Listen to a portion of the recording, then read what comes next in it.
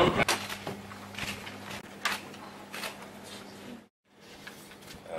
to us, uh, this is a very important milestone in our relations. We've been very close uh, for many, many years. Uh, the spirit of South-South cooperation on education and human resource development, there's been very good collaboration and there's a lot more that needs to be done. Uh, we want our universities to collaborate with your universities.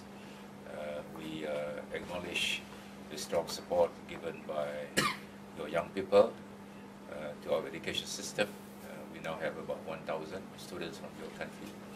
Uh, I met some of them over lunch. I'm meeting some of them again tomorrow morning. And all of them told me of the wonderful experience they had in Malaysia. Uh, this is, uh, these are very important ambassadors of Mauritius uh, to Malaysia. Uh, therefore, this issue of visa is something that we, we view very seriously given undertaking to do our best to resolve this issue. Mauritius, of course, is a very strategic gateway to Eastern Africa. Uh, Malaysia enjoys close ties with many African countries, Mauritius, of course, we value this relationship uh, and we uh, would like to uh, support or uh, welcome the proposal to make Mauritius uh, as a launching pad for people to venture into East Africa. We are strong in Islamic finance, and we would like to see uh, more collaboration in the area of Islamic finance, including uh, perhaps uh, issuing Islamic bonds out, out, out, of Malaysia. The issue of resident ambassador or high commissioner here in Mauritius. this has been raised on the sidelines of the meeting between two heads of government in New York in September last year. Uh, and uh, this is something that, that has been considered by the government. Uh, we are going through a, period of fiscal adjustment. Uh, and once our finances have been sorted out, of course, uh, this matter will be given due consideration. We have completed a very uh, productive working session with our distinguished guest, His Excellency the Minister of International Trade and Industry of Malaysia.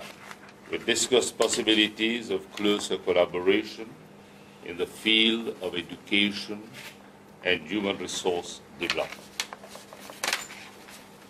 We also considered areas of cooperation in the fields of socio-economic transformation, given the transformative agenda of our two countries.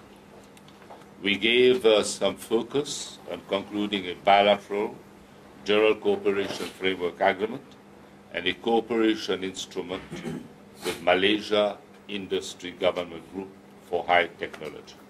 We also discussed the possibility of establishment of a Malaysian High Commission in Mauritius. That will come subject to financial resources being available. But you know, uh, this issue was raised in the margin of the uh, UN General Assembly between the two heads of states.